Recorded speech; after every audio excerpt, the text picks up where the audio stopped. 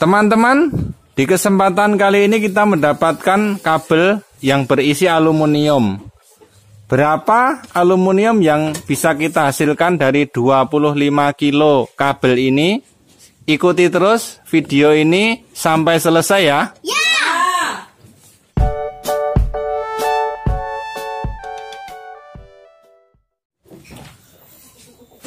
Kabel ini terdiri dari beberapa diameter ukuran, ada yang 7 mili, ada juga yang 1 sentinan. Akan kita bakar supaya kita mengetahui prosentase dari aluminium kabel yang kita dapatkan ini berapa. Langsung akan kita bakar dengan teknik tertentu di tempat yang aman tentunya.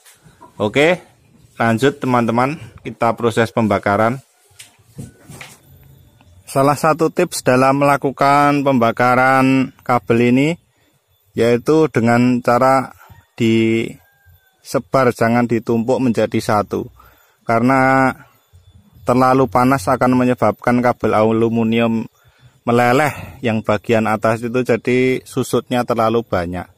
Kalau disebar seperti ini merambat dengan pelan-pelan panasnya pun tidak terlalu panas tapi kabel aluminium bisa dierah atau bisa terpisah dengan cukup bagus. Posisinya di kebun belakang rumah ya rimbun sekali ini.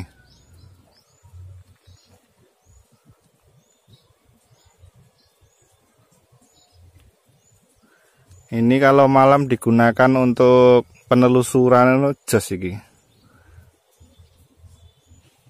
penelusuran kunti wawa no jas iki.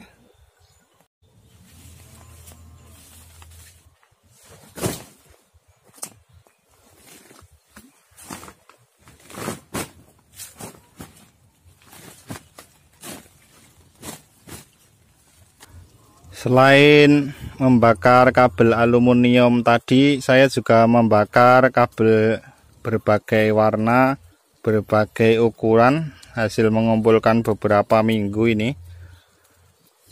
Dua karung ini. Ya celengan juga ini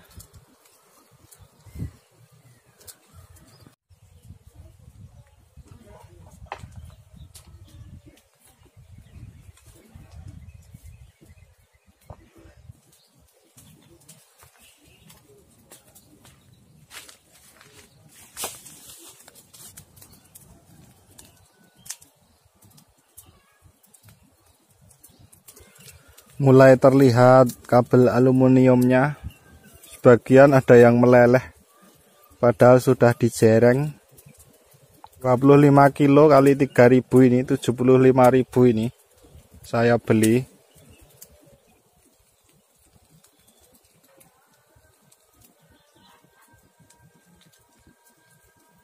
Selesai sudah proses pembakarannya tinggal kita tiriskan Semoga bobotnya ini bisa gatok dengan nilai pembeliannya yaitu 75.000. Bismillah. Alhamdulillah dapat kabelnya sebanyak ini. Tinggal kita cuci, kita keringkan lalu ditimbang nanti berapa pendapatan aluminium kabel kita ini. Kalau kabel tembaga yang kita bakar tadi dua karung sebanyak itu. Akan saya cuci sekalian. Mumpung masih panas ini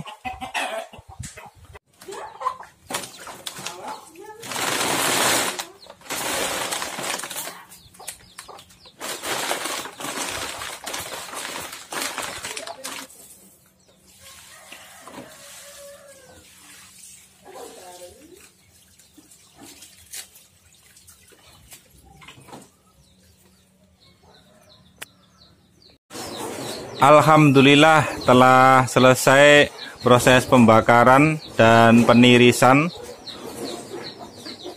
Sudah kita timbang bobotnya 15 kilo ini. Dari 25 kilo kabel yang kita bakar tadi menjadi 15 kilo kabel. Untuk harga kabel bakar saat ini sekitar 14 atau 15 ribu Tapi kalau kupas sekitar 17 ribu Baiklah teman-teman demikian video tentang kabel aluminium Semoga video ini bermanfaat. Jangan lupa like dan subscribe-nya. Terima kasih sudah menonton. Assalamualaikum warahmatullahi wabarakatuh.